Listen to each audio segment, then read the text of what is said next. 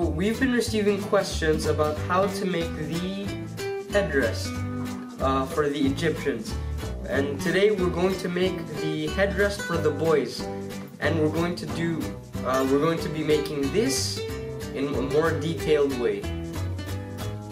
Okay, so first, get about 130 centimeters of wire. Uh, with the size of your thumb, bend it like this.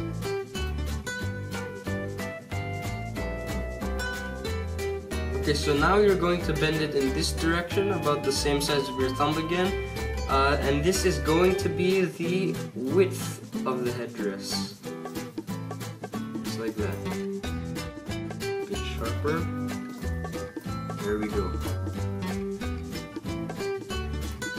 Okay, so next thing you're going, the next thing you're going to do is bend it uh, in this direction, just like that, and this will be the circumference of your head.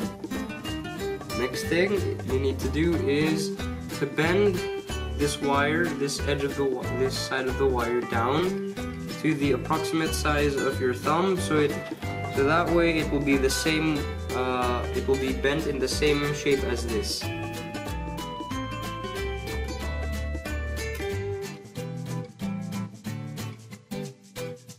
Like this, first step done. Second step. Bend it there. See? Okay, now that you uh, bent it, bring this uh, extra piece of wire and bring it all the way around here. Make sure that it's the same, it's uh, in line with this top wire and using and cross it over like that using a thinner wire like this. Use this wire to wrap it around wrap it around these two pieces of metal so it will be bound together. So this is the end result of what it looks like. And this um, is just to keep the the length the width of the uh, headdress in shape, make it look nicer, keep it more intact. If you want to see a more detailed um, way of how we did this, go visit the first video on when we made the headdress for girls, just like this.